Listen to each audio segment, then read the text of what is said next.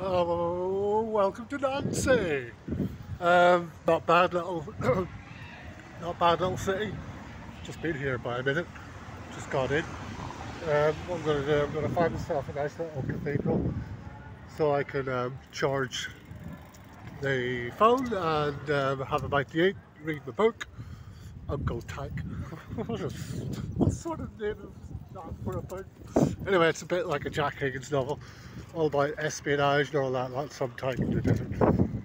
Apart from that, everything's going well. Just had an interview, two interviews actually. Definitely got job offers. It's just their paperwork. So one I'm probably going to do. The other I'm going to have to tell them to sort off because they're just being too ridiculous the first one I accepted. I said, yeah, yeah, I'll work it. But then they're all, oh, fill like this form, fill out that. No, no, no, no, no, no, no. Do you want me or not to start on Sunday? Don't make me jump through hoops. So there you have it. There am I on. As I say in Irish. Gaelic, should I say. This is Nancy.